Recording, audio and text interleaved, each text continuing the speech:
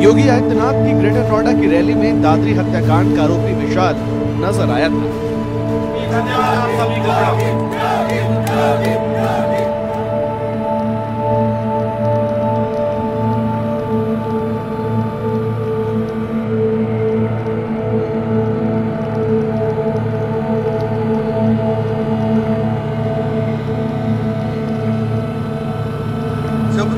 माता को, राष्ट्र माता का दर्जा नहीं मिलता।